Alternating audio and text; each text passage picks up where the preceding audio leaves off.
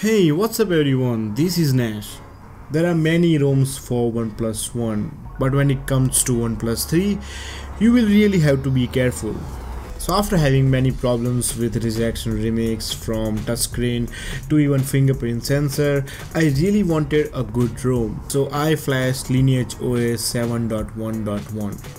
One more reason to flash this ROM is that I flashed it on my OnePlus One and it gave me best battery life around all Nougat ROMs. So this ROM is based on Android 7.1.1 Nougat. And those of you who don't know, it used to be known as CyanogenMod which was most installed ROM all around the world. Is this ROM rooted? It is rooted but only half because only ADB can access the root and you will have to flash Super SU add-ons along with the ROM if you want to have full root access and it's not that hard if you ask me because if you can flash ROM then you can definitely flash Super SU. From very first moment I could see amazing Nougat animation implemented smoothly into this ROM. Now let's talk about features. Customization is always been limited on CyanogenMod but don't worry because it has all the useful customization. So first of all we have status bar customization. You can put your clock wherever you want and change the battery icon. And my personal favorite battery percentage. You can always put battery percentage inside the icon or beside the icon.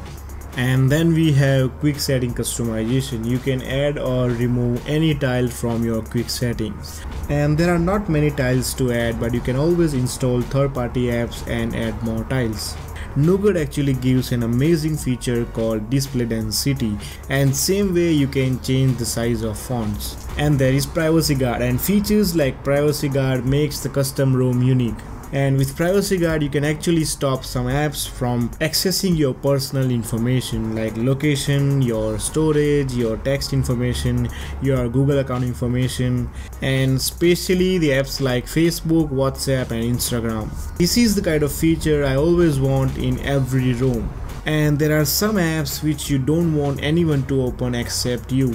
And that feature is called protected apps. You can protect any app by pattern or password or even pin number.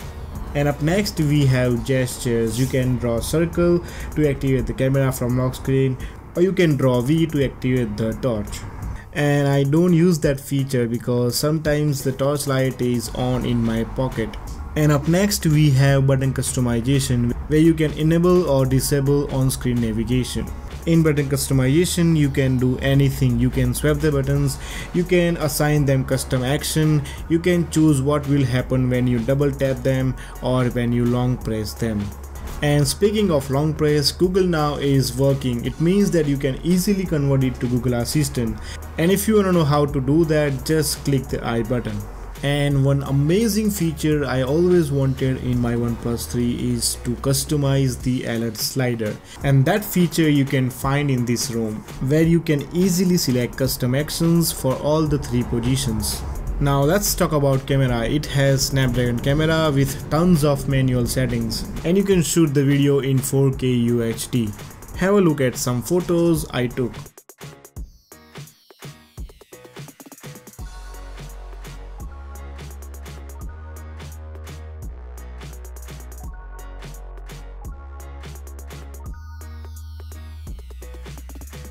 So those were features, now let's talk about performance and stability. The ROM is faster and smoother, even smoother than Oxygen OS. There is no graphical glitches, scrolling is smooth, the ROM performs extremely well. It means that ROM is using CPU and GPU at its full potential. RAM management is outstanding, no problems with fingerprint sensor or touchscreen or Bluetooth. Phone does not heat while charging. Speaking of charging, dash charging is available in the ROM. Only thing missing here is that it doesn't mention on lock screen that it's dash charging. It means that if you are using the charger from somewhere else, you won't be able to know that it's dash charging or normal charging but for that you can always install an app called Ampere. And don't worry about updating the ROM because OTA is inbuilt. I have been using this ROM for last 4 days. I never had a single F-Force close or a random reboot.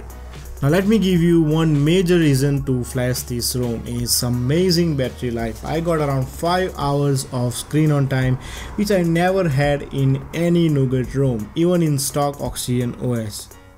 Now because I told you my battery life, you want to know my daily usage. I don't play heavy games. I just surf Instagram, Twitter, Google+, Chrome and most battery draining app called Facebook sometimes YouTube videos but most of the time I Chromecast videos to TV and because I stay indoor for most of the time my brightness level is always around 40 to 50 percent. So to sum up this video I'm going to give this ROM 4.5 out of 5. So all cards are on the table you know why to flash this ROM and you know why not to flash this ROM and if you want to know how to flash this ROM and what to do before you flash the ROM and how to take full titanium backup all the links will be in the description. And please like this video if you appreciate my efforts. And subscribe my friends because I make these kind of videos every day. And until next time keep flashing my friends